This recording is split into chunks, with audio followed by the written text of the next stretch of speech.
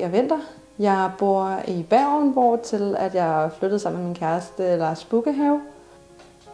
Jeg har dykket sport siden jeg var helt lille, siden jeg var tre år gammel. Jeg startede med at, at ride, og så har jeg haft kørt motocross, jeg springer faldskærm, jeg har løbet en masse ting, og egentlig altid haft okay nemt ved bare at, at starte på noget nyt. Ja, mit navn er Lars Bukkehave, og jeg vil selv betegne mig som en person, som er glad for at drage ud på eventyr. De seneste 18 år, der har mit liv været fyldt med adventure race.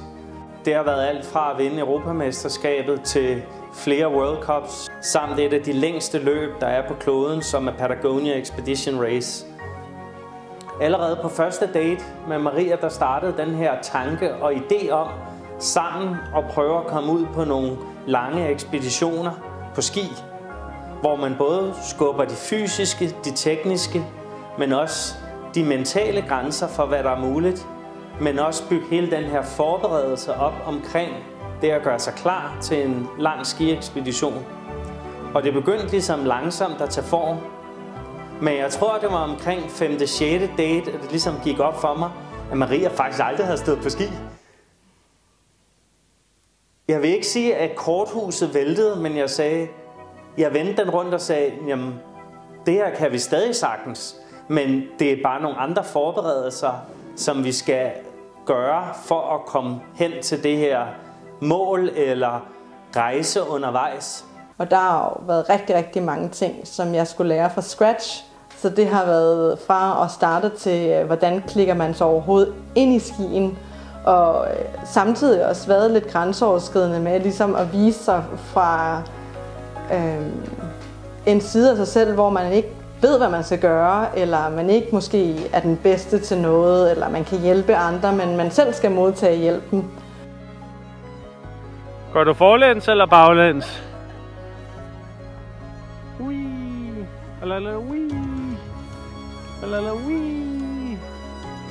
Man virkelig fokuserer på, at hoften kommer ind over ski fra ski til ski. Okay?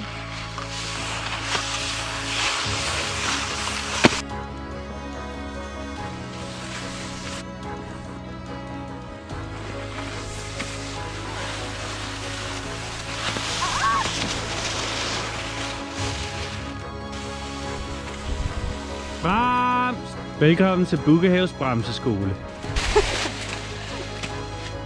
Så har jeg jo lært betydningen af, hvad en epic er. Og den fik jeg jo smagsprøve for anden dag på ski. Så Larsen synes, nu havde vi været ude og prøve at få to ski på og i gang og afsted med os, og sådan fundet en rute, vi skulle ud på, som viser sig at blive omkring 30 km. og jeg var så færdig, da vi kom hjem. Altså, fuldstændig done. Men det alt overskyggende for alting, det er vilje. Hvor meget ved du det her?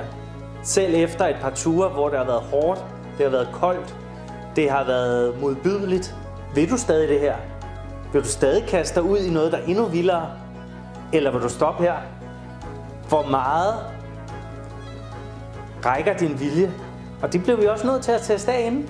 Fordi når du står midt på verden, Europas største gletsjer, så kan du ikke sige, nu gider jeg ikke mere. Der er kun én vej, og det er fremad.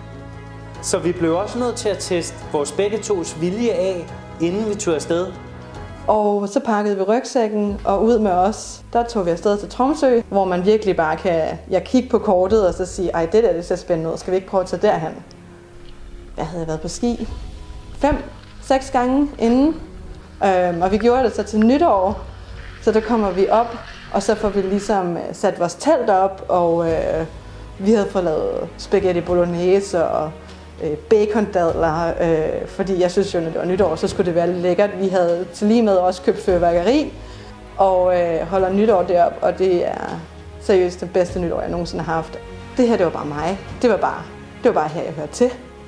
Men vi kommer ud, og i starten, der ligner det lidt sådan nogle skyer, som danser på himlen. Og så begyndte det bare at tage til. Altså, det blev mere og mere grønt, og til sidst var det bare sådan, der er seriøst nordlys. Altså, det dansede ud over hele himlen. Og jeg tror, det har været i gang en time eller en halvanden. Der er der vi ligesom også året nok på rimelig højt niveau. Øh, men det viser sig så, at resten af året, det skal, skal kun blive bedre.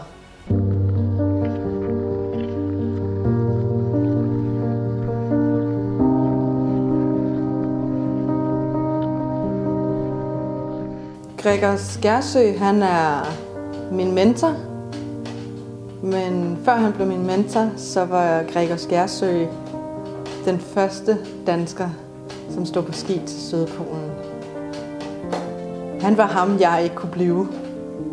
Og han har virkelig hjulpet mig i den her proces med at drømme om noget til at ture noget. Altså jeg havde ligesom selv taget skridtet først, men da han sagde, det kan du da godt, Maria, så var jeg sådan, åh ja, det kan jeg da godt. På et tidspunkt, så bliver det jo så konkret, at man, man ligesom siger, okay, nu, nu må jeg lige sætte mig nogle mål her, ikke?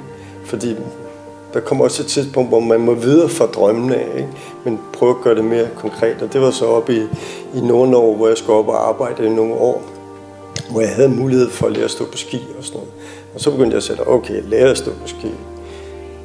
Hvad er det? Kryds Grønland på ski, ikke? gå på ski til Sydpolen. Så begyndte jeg at sætte de der, ligesom nogle mål op. Øh, men det startede meget tidligere der i skoletiden, hvor jeg begyndte at, læse om Knud Rasmussen. Så Knud Rasmussen har været en stor inspiration for mig. Rigtig stor. Og så begyndte jeg sådan begyndte at læse om de, dem alle sammen. Så kom Jørgen Brøndlund, altså hans, og selvfølgelig Mylius Eriksen, Ejner Mikkelsen og Ivar Iversen og hvad det hedder alt sammen. Ikke? Så begyndte man at læse det her, så vælter den her danske polarhistorie ind over en. Ikke?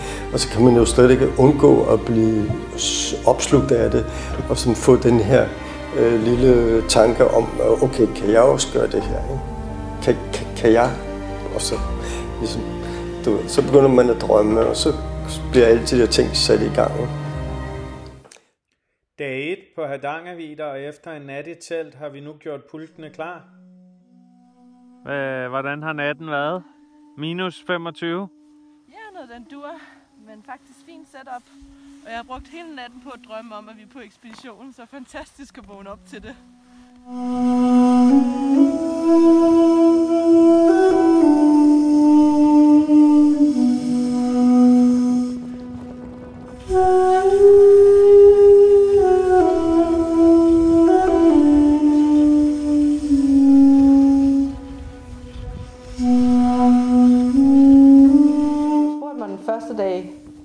På så er jeg rimelig sikker på, at jeg har sagt, at ingenting virkede. For pulken, den væltede rundt, og jeg lå og kravlede op ad skråninger. Jeg havde ingen idé om, hvordan jeg kom op på skiene igen, og pulken havde snoet sig rundt og lå ned langs en side. Øh, så der var rigtig, rigtig mange frustrationer, trods hvor flot en tur det var den første dag. Men vi fik alligevel formået at gå, jeg tror 20 eller 25 kilometer. Så noget rigtigt har vi jo gjort.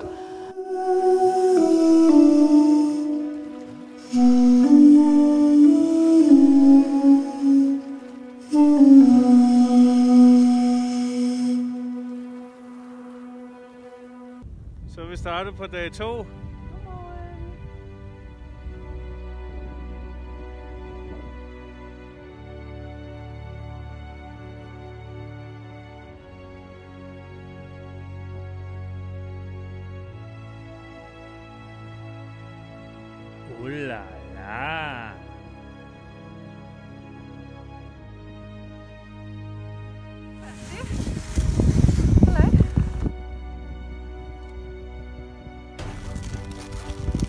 den lidt øh, krummer.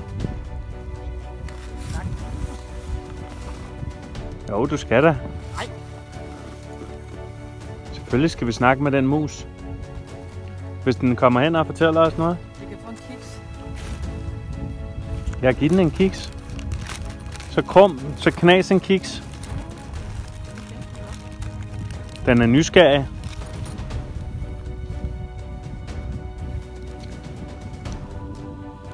Jeg tror, det er en, du kender. Kast den lidt.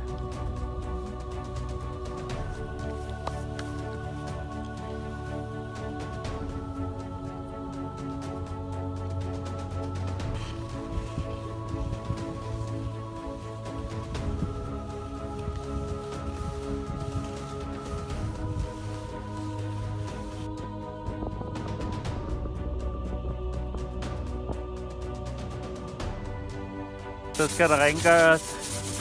Vi har virkelig svinet med kondens.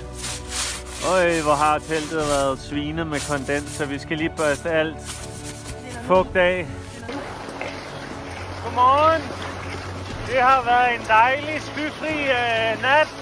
Det betyder også, at det har været noget omkring de minus 20, hvilket har udløst en kold nat, men øh, det har været okay.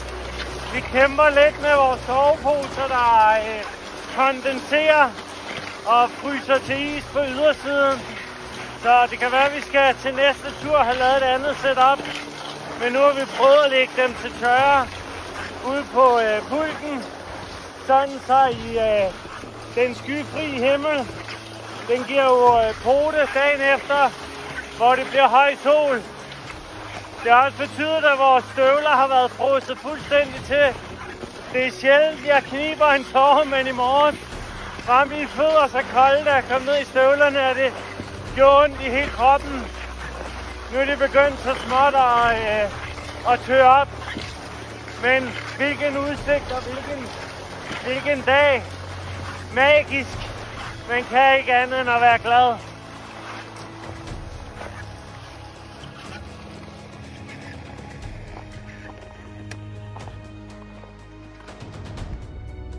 Vending. Yip yip. Vending. Life.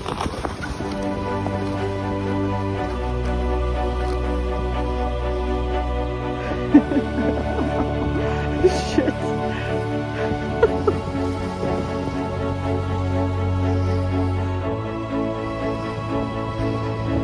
Imagine.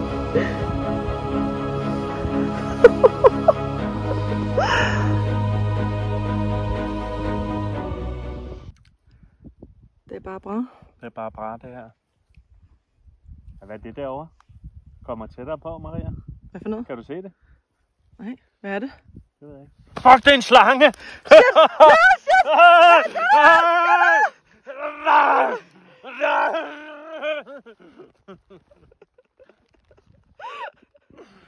Ah, B.S. Christiansen. Ah, dræb slangen. Ah. Mm. Smager godt. Slangeblod. Godt, jeg har dig med, Lars.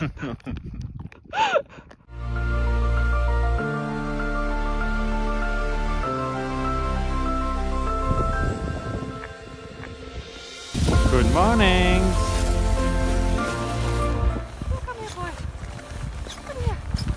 Good boy. Really good boy. Det har også ligesom fået os ind i den her tanke om, jamen selvfølgelig er det to hunde, vi går og trækker. Og det har også betydet i bedste Castaway Tom Hanks-stil, hvor han er på en øde ø, og han finder den her volleyball, og så kalder den for Wilson. Jamen selvfølgelig er vi også på tur med vores to hunde, og der gik ikke lang tid før, at vi faktisk navngav dem. Maria har kaldt sin hund for Pluto, fordi hun ligesom føler, at den er glad og daffer der ud af, og Pluto, come on Pluto. Og min hund, det er Idefix.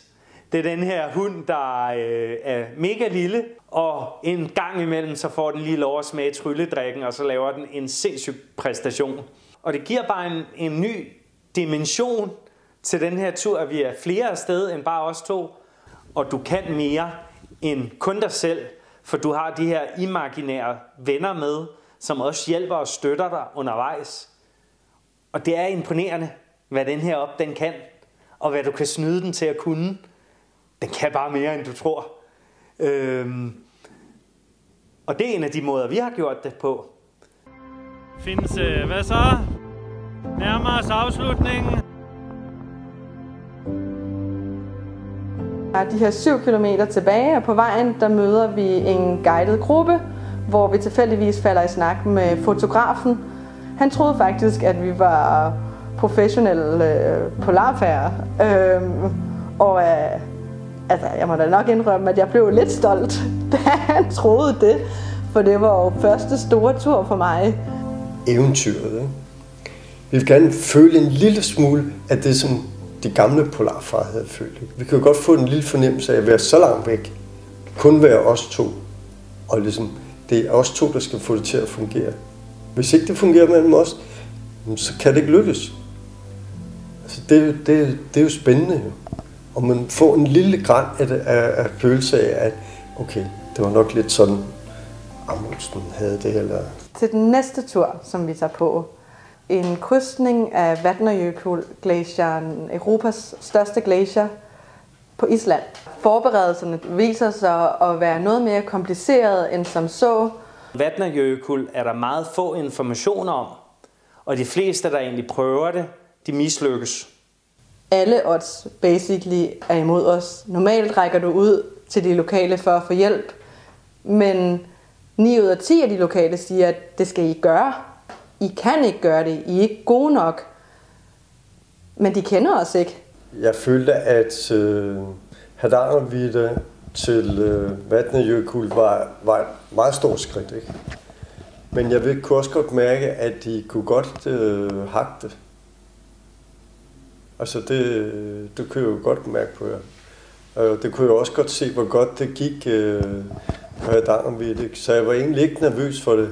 Så er der jo også det teamarbejde, som Lars og jeg vi har fået bygget op, som viser sig at, at være guld værd, for vi har basically planlagt alt time for time. Lars sidder og snakker med lokale og med guider og undersøger kort og så videre på nettet i forhold til ruten.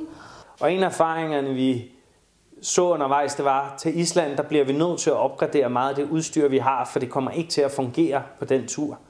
Så vi skal have lige give det en, en ekstra tand. Og øh, det er jo det, som vi synes er ekstremt fedt med Montaigne, det er, at de har nogle vanvittige gode produkter, og specielt også nogle gode letvægtsprodukter, som, øh, som virkelig gør, hvad Og de lover. det er virkelig relevant, når man kommer ud på de ture også, fordi at, altså, vi tæller gram. Så det er lækkert, når du får den der jakke på, og man sådan...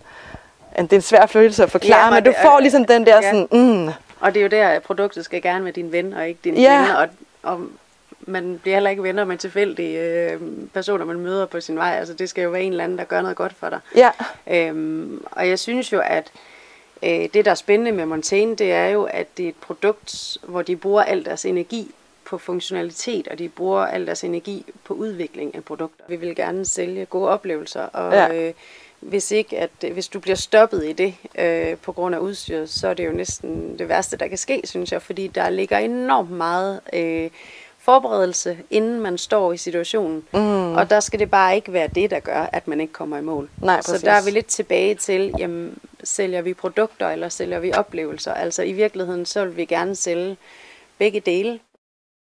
Vi har set, at man kunne få sådan en gryde her med varmeriller, som passer ned på en øh, primus med gas. Men i og med, at vi skal bruge benzin, så måtte jeg jo så skifte gasbrænderen ud med en benzinbrænder. Men den passede jo ikke helt, så jeg har jo siddet her og savet og filet og klippet og alt sådan noget de sidste fire timer. Men nu, nu passer den. Så er vi i gang med at pakke øh, poser til Island. Så vi har fået det helt gode uh, morgenmad setup med havregryn, tørmælk, rosiner, selvfølgelig sukker skal vi have lidt i, solsikkekerner og den hemmelige ingrediens, chia seeds. Men øh, det er jo bare at starte fra en ende af, og så bare pakke poser. der har vi så lavet en hel liste over det, som vi skal have med. Og selvfølgelig bruger vi vægt, når man er i gang så mange dage og så mange poser, så every gram counts.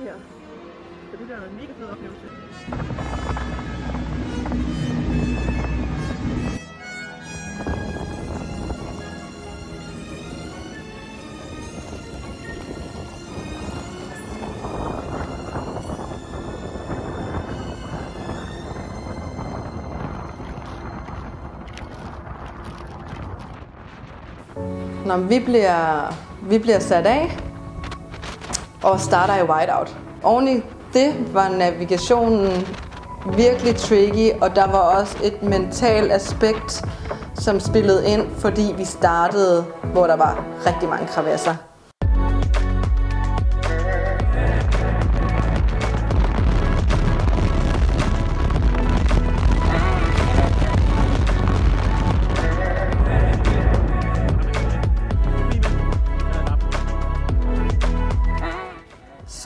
Himlen, og vi kunne rent faktisk for første gang se, hvad det var, vi gik rundt i. Velfortjent. Det har været- Efter lidt over 25 kilometer. Men øh, super god dag, og nu er det bare fantastisk at være i teltet og hygge og snart skulle i posen. Men vi kan lige se, hvorfor vi egentlig bygger en lægevæg. Og her har der så ligesom lagt sig en masse sne, som ellers ville være blæst over på teltet. Men det er så kommet rundt om teltet.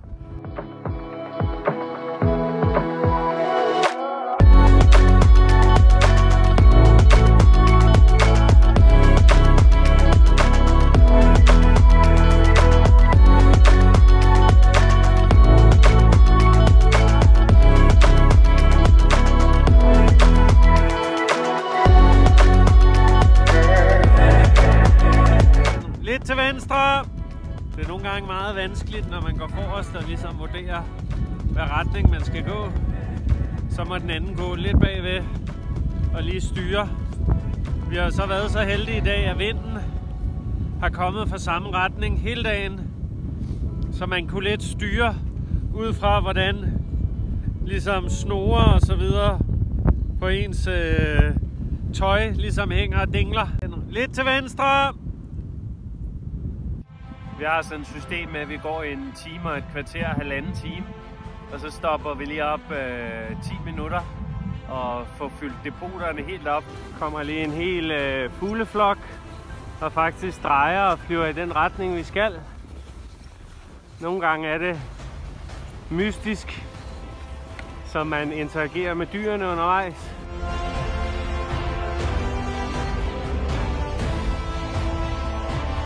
Hvad står menuen på? Først lidt øh, meksikansk suppe, og så bagefter er der couscous. Lækkert. Så øh, er vinden ved at tage lidt, øh, lidt af derude. Men vi har valgt alligevel at vente indtil klokken 10 med at gå afsted, fordi der skulle det blive endnu bedre vejr. Vi ligger begge to her og læser lidt. Maria har Michael Knakkegaard Vejen er målet med. Og jeg har taget øh, Nikolaj Molkelet Et glimt af sjælen nogle gange er eventyret bare et øh, waiting game. Selvom det er, man gerne vil ud, så er det måske det smarteste lige at vente. Åh, oh, hvad er det? Må vi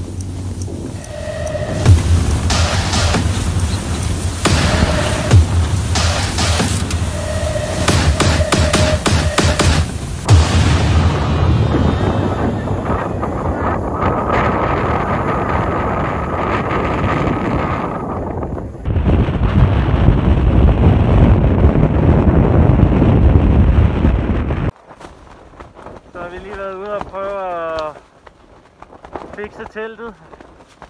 En lille smule, jeg ved ikke om man kan fornemme det, men vi er fuldstændig soaked. Vi har måske været ude i jamen, øh, kvarter, max.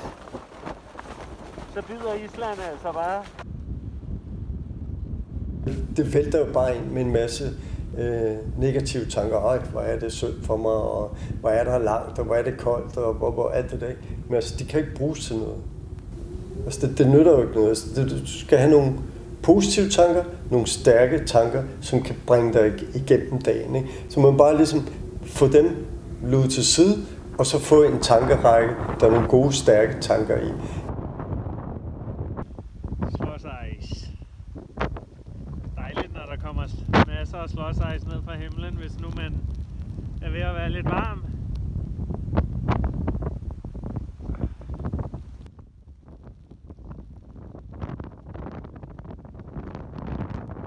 En lille øh, forsmag på, hvor våde vores sko er blevet. Det er solen, der bliver vredet. Man forstår godt, man skal have godt regntøj og godt udstyr og et godt tørresetup, når man kommer til Island. Ja, det er vist en helt egen form for ekspedition. Fuldstændig. Her er der et lille view. Vi har en brænder, der står midt i det hele. Og så prøver vi ligesom bare at hænge ting op. Og få lagt tingene ud så vidt muligt, så det ligesom kan tørre. Det er dagligt. Daglig opgave. Og så lige lidt suppe. Ser godt ud, Lars. Så er der pandekager. Ren hygge. Og nu fik vi lige en lille besked fra Gregers her også. Han skriver, Hej, hvordan går det? Vinden drejer i nat fra sydøst, sydøst til sydvest. Tak til Gregers.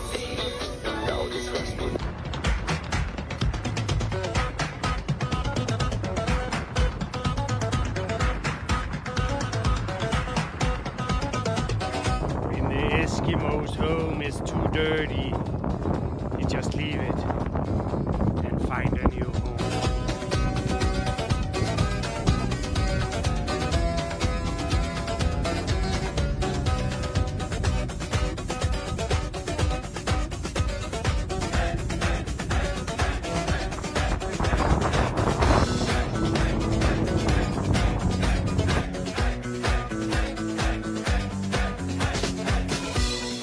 Hvad så, Ine Pik?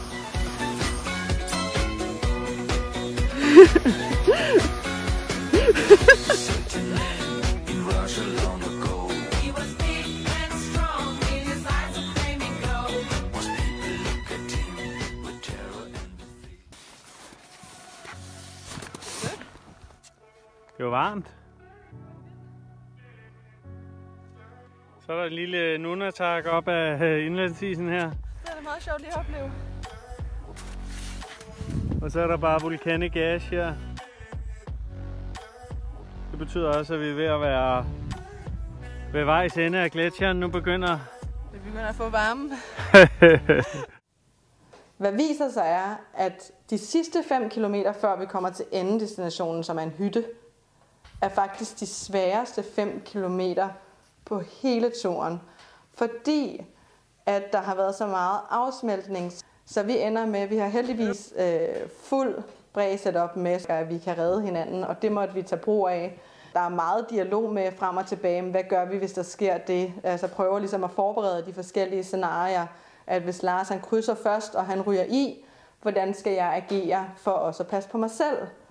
Øhm, vi kommer ligesom i, over det første flodområde, og, og tror egentlig, at nu har vi taget den største, og går videre og begynder så at, at faktisk øh, ploppe i igen, og det er ikke... Øh, det er ikke en fed oplevelse af en ski, de ryger igennem isen. Men vi kommer så hen til et område, hvor det bare er fuld åben flod, og der er bare run på. Og så lige pludselig kommer der den her fugl flyvende ind over hovedet på Lars. Ned og nærmest rør vandet, og så sætter den sig på sådan en lille klippetop over på den anden side. Den kalder.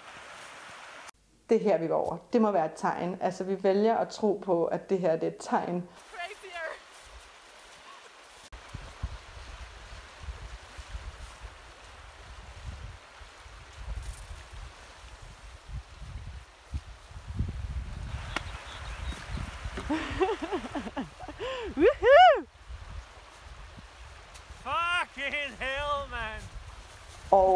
Da jeg kommer over efter Lars, så giver vi hinanden et kæmpe kram. Og i det vi krammer, så flyver fuglen lige så stille og roligt videre den vej, hvor vi skal hen mod hytten. Øhm, og det er nogle af de her moments, som naturen tillader dig at få. Så er vi ved sluthytten. Vi mangler lige de sidste 100 meter. Og jeg kan se, at der er et lille toiletbygning. Så er vi i mål. Stændig vanvittigt. Noget af en tur. Skal vi i dag?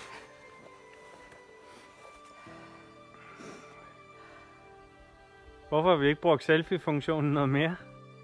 30 km. Sådan. Bum. Og det har taget os 11 timer. Så der var en hytte der, hvor vi ville slutte.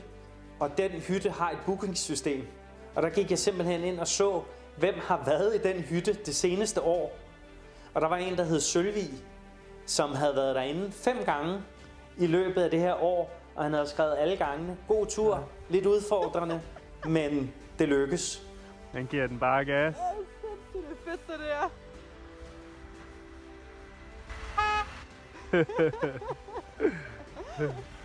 Så sidder man her i middle of nowhere, og så pludselig kommer vores øh, limo driver. Jeg tror egentlig, at man kan koge hele den her rejse sammen med Maria ned til den her børnefortælling, hvor en isbjørn og en pingvin er ude på en lang tur sammen. Hvor pingvinen spørger isbjørnen, hvad er egentlig vigtigst for dig? Rejsen eller målet? Hvor til isbjørnen svarer, selskabet.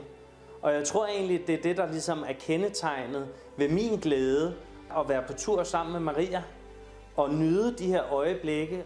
Du har den her forestilling om, hvordan det er. En anden ting er, at det er bare meget, meget federe.